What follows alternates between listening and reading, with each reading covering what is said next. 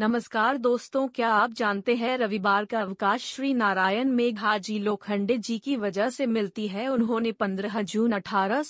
को ब्रिटिश सरकार पर दबाव बना के छुट्टी लागू करवाई थी